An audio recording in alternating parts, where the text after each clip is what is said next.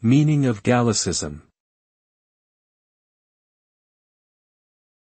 Gallicism. Gallicism.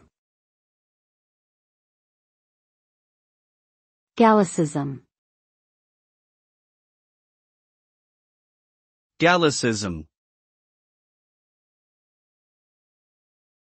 Gallicism refers to the use of French expressions, idioms, or grammatical structures in the English language. This phenomenon occurred due to the strong cultural influence of France on England in the past, especially during the Norman conquest. Nowadays, Gallicisms are still present in modern English, and they often add an air of sophistication and elegance to language. However, their overuse can make communication confusing or difficult for non-French speakers. Therefore, it is important to use Gallicisms judiciously and appropriately in order to communicate effectively and clearly.